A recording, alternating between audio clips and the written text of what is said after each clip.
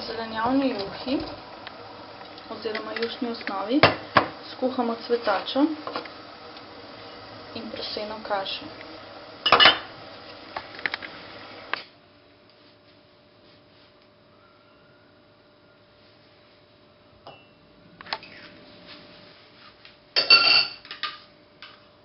Kislo smetano.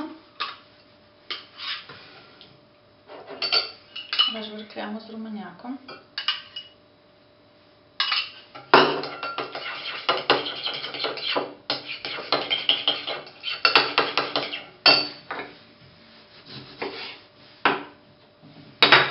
Dodamo limunin sok.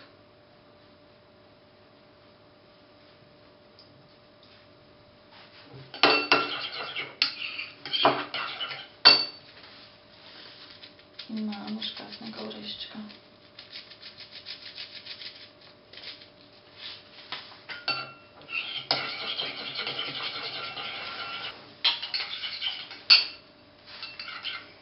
Приправлю на смесь, берем лука.